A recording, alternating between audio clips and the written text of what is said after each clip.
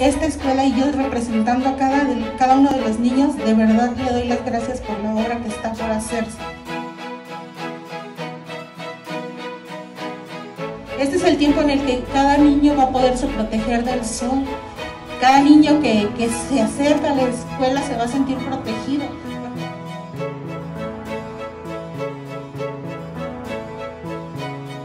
370 niños agradecidos por esa techumbre.